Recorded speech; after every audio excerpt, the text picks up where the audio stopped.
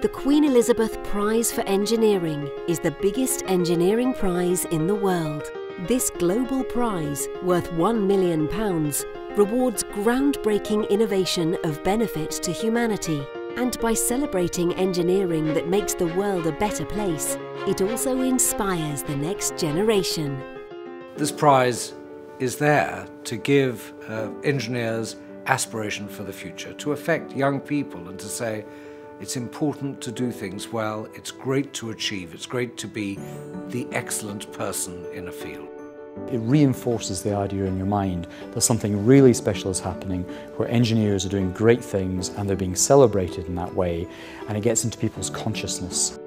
People can walk away with both an appreciation and a genuine curiosity for what technology and engineering can actually do. The fact is that no education is as broad as an engineering education is.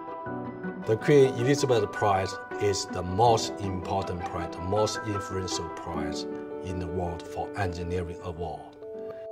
The prize celebrates the diversity of engineering and highlights how it affects all areas of our lives. Leading personalities from across the profession unite around the prize's aim to inspire the next generation of engineers by recognising engineering achievement today. And that message is clearly getting through. The spectacular thing about the Queen Elizabeth Prize is it shows the positive change that you can make as an engineer, and that's what really made me become an engineer. I wanted to make a difference. Great engineering transforms lives. Awarded every two years, the inaugural prize in 2013 went to Tim Berners-Lee, Bob Kahn, Vint Cerf, Louis Pouzin and Marc Andreessen, pioneers of the Internet and World Wide Web. The impact of the first Queen Elizabeth Prize was to enable the global community to appreciate the fact that there is engineering in almost everything that they see on a day-to-day -day basis. In 2015, the prize showed how modern engineering crosses disciplines and helps produce new and emerging fields. It was awarded to a single individual, Dr. Robert Langer, for his work in biomedical engineering, facilitating the treatment of diseases such as cancer and mental illness that have touched the lives of over 2 billion people. I feel so proud and privileged to receive the Queen Elizabeth Prize for Engineering. It's the largest engineering prize in the world and a prize that aims to inspire young engineers throughout the world to participate in this great endeavor. It's been estimated that his inventions have directly helped 100 million people and have the potential to help hundreds of millions more. From internet technology to biomedical engineering, what will the next winner be? Eminent judges and donor companies reflect the prize's breadth and importance, as well as showcasing the role that engineering has played both professionally and personally. It's very important to say to people, you are using the product of engineering. If I immigrate into a country and you have to fill in the forms and they, and, and they ask for your profession, I always write engineer because I feel that's, that's who I am. The Queen Elizabeth Prize for Engineering is a truly international initiative. In 2015, it launched the Create the Future report, which revealed the different attitudes to engineering across different age groups in 10 countries. It's the first international survey of its kind. Even the prize itself is a showcase for engineering, as young people can enter the worldwide Create the Trophy competition and see their design come to life.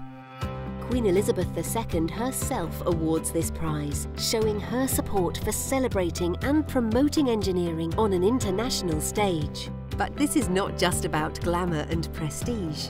Behind the scenes, the Queen Elizabeth Prize for Engineering has appointed a network of ambassadors. This thriving and vibrant global community of young engineers is passionate about engineering. They reveal the diversity and opportunities offered by a career that makes a valuable contribution to society and the global economy, one that genuinely enables people to make a difference. We are building in Stevenage a rover that will go to Mars in 2020. And we have a Mars yard, so as an engineer, you can stand on Mars as part of your day-to-day -day job. When I see the top of the shard kind of poking up or appearing in unexpected places around London. It really is such a rewarding feeling knowing that I played a part in its design. I think the benefit of having this uh, close connection is basically to spread the word about what engineering is. I look to apply engineering principles to energy efficiency to find ways to make Starbucks a more sustainable company. Engineering is all about creativity, problem solving and people. And Queen Elizabeth Prize for Engineering events are all about people bringing together leaders in the field and young and aspiring engineers who hope to follow in their footsteps. Within the Queen Elizabeth Prize, we have the ideal opportunity to create a beacon to allow appropriate recognition for those individuals that have made such contributions, and at the same time, create a moment in time when society can see those things. The principal thing about it is that it's right up there in terms of making a, a really strong statement uh, to all engineers and the world as a whole that engineering is making a difference. The whole thing is to help inspire, you know, young people, you know, that I could be, you know, the person who is winning this award and uh, standing on the stage and picking up. So that's why we're proud to support an initiative like this. I want to make sure that the prize lasts forever uh, because prizes get better over time and we can see great people being inspired uh, over 50, 100 years. Engineering will always be relevant.